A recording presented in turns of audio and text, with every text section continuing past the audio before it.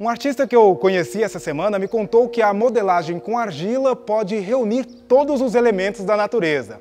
A arte com argila é milenar e agora no Dicionarte a gente conhece um pouco mais.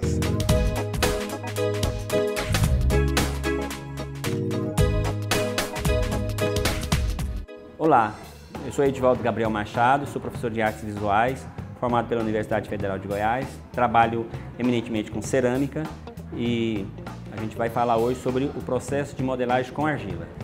Basicamente, nós temos três processos de trabalhar com modelagem com argila. A modelagem livre é modelagem é, que é uma modelagem manual, que a gente determina como sendo modelagem simples no monobloco. Modelagem com um molde, ou seja, a gente vai pegar essa argila e apertar, calcar em um molde de gesso vai já ir com essa pronta. E a modelagem com o uso do torno. A modelagem livre, a gente trabalha ela da, seguinte forma. A gente pega um, um, uma, quantidade de argila, constrói uma, uma, uma volumetria, faz uma, uma esfera. Aí você faz a primeira etapa. A segunda etapa você alonga essa parte. Terceira etapa você vai construindo uma volumetria. Quarta etapa você vai fazer uma construção de um bico, como se fosse um, um é um pássaro. A quinta etapa você constrói a, a cauda desse passarinho, dessa, dessa figura. A sexta etapa você constrói da, da própria volumetria que você iniciou o trabalho uma asa. Você constrói ela dessa seguinte forma. A outra é asa, essa argila. Essa modelagem é, simples no monobloco, você, nesse caso construímos uma, um pássaro, mas a gente pode considerar uma, construir uma tartaruga, um elefante, um cachorrinho, ou algo que queira construir com esse material que está em mão. Vamos fazer a modelagem simples no monobloco.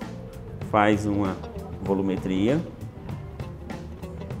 pega a, a forma de gesso que já foi previamente construída para esse fim,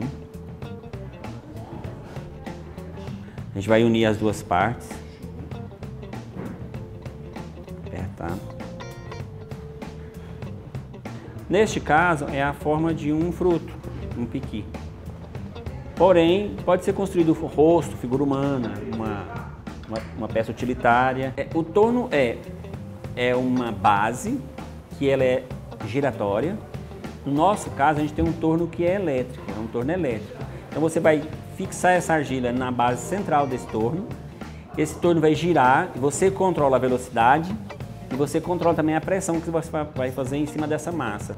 E eu vou construir ela de que forma? Eu vou empurrar de dentro para fora com uma mão e a outra mão vai é, sustentar de fora para dentro. Dessa forma, eu vou construir a, a figura cilíndrica, que o que eu fizer de uma lateralidade do, do potinho, digamos assim, ou da vasilha, ela vai acontecer em todos os lados. Hoje nós falamos um pouco sobre o processo de modelagem argila com o torno. Espero que tenham gostado.